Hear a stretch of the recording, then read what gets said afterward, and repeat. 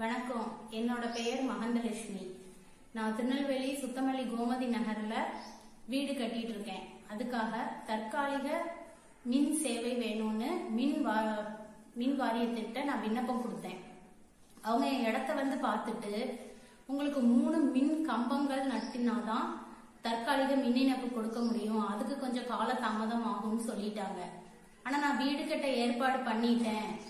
எனக்கு வந்து மின் இணைப்பு கொஞ்சம் சீக்கிரம் வேணும் அப்படின்னு கேட்டேன். அவங்க இல்ல கால தாமதம் ஆகும்ட்டாங்க.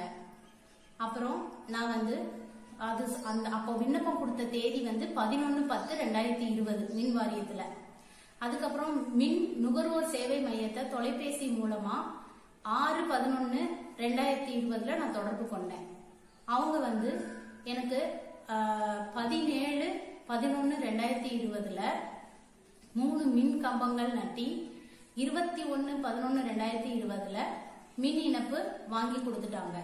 அவங்க அவங்க அந்த நுகர்வோர் மின் சேவை மையம் மின் வாரியத்தை தொடர்பு கொண்டு இந்த எனக்கு தற்காலிக இணைப்பு இவ்வளோ சீக்கிரமா வாங்கி கொடுத்துட்டாங்க. அதுக்கு நான் ரொம்ப சந்தோஷப்படுறேன். அந்த நுகர்வோர் மின் இணைப்பு சேவை மையத்துக்கு நான் ரொம்ப நன்றி தெரிவித்துக்கிறேன். அவங்களோட சேவை மென்மேலும் தொடர எனது வாழ்த்துக்கள். நன்றி வணக்கம்.